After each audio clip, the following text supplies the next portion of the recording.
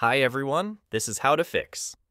In this video, we'll show you how to fix Windows Update stuck at 0%, 20%, or even 100%. I'll show you simple steps to get your update back on track and your system running smoothly again. First, we'll restart the Windows Update services. To open it, right-click on Start, select Run, type services.msc.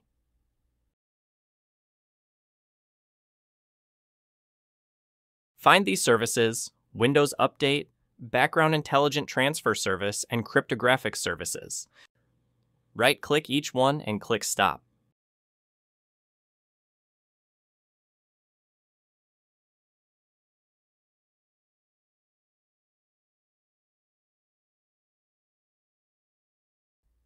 Now go to Folder, C Drive, Windows, Software Distribution, and delete all files in this folder.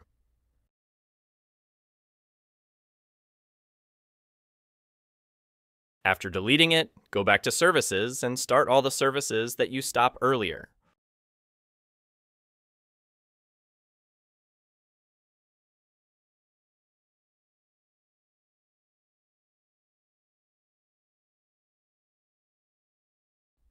Next is to use the Windows Update Troubleshooter.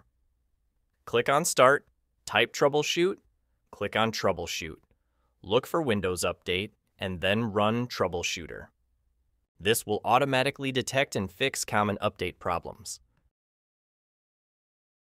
Next step is to run these commands.